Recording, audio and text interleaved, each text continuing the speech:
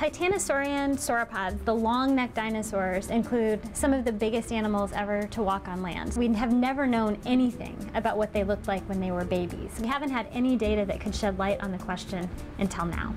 And so my colleagues and I had an opportunity to study a really tiny, the first and smallest of its kind out of an egg sauropod dinosaur from Madagascar. These little sauropods would hatch from their eggs and really be on their own in a really rough environment in the late Cretaceous of Madagascar.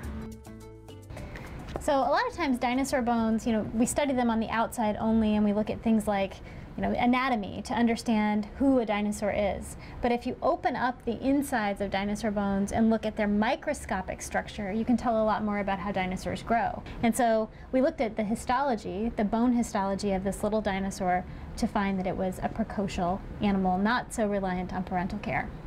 We know that the animal hatched from an egg at about seven pounds, um, maybe about ankle high at the back upon hatching, and an egg probably about the size of a softball, but certainly no bigger than a soccer ball. Of the bones that we found from this little skeleton, most of them are forelimb and hindlimb bones. We have a couple of bones from the hips and a couple of bones from the fingers and, and toes.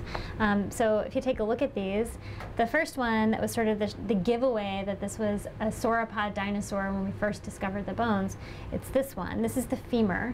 Um, it's a right femur, and it shows this really nice articulation here with the hip, and then the articulations down here for the lower limbs, the shin bones.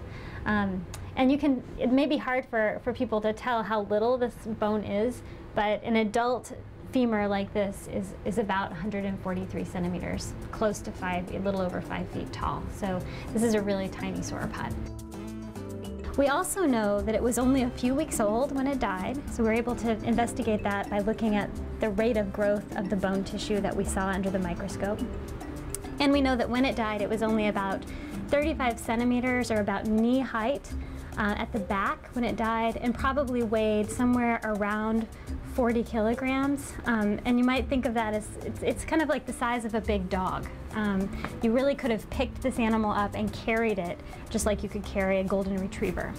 I think one of the things that's, that's great about this work is that it really provides a test of precocity or precociality, this idea that parental care wasn't an important part of the life history of Rapetosaurus. It provides a series of data sets that other scientists will be able to use if they find similarly small dinosaurs.